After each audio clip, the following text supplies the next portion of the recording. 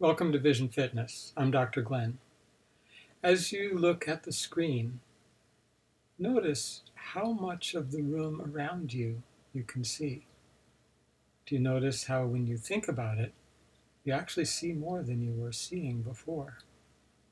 When we bring our conscious attention to the awareness process of vision, we expand it, we stimulate it, we turn on the switches in the nervous system that allow us to see more, more easily, more efficiently, more effectively.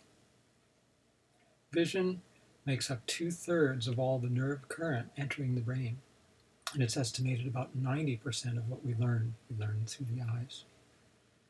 So I've laid out a curriculum and I will guide you through it step by step, not only about how vision helps us see the world around us, but how our inner vision can help us see the world as we re- remember it from the past for visual memory and as we envision it for the future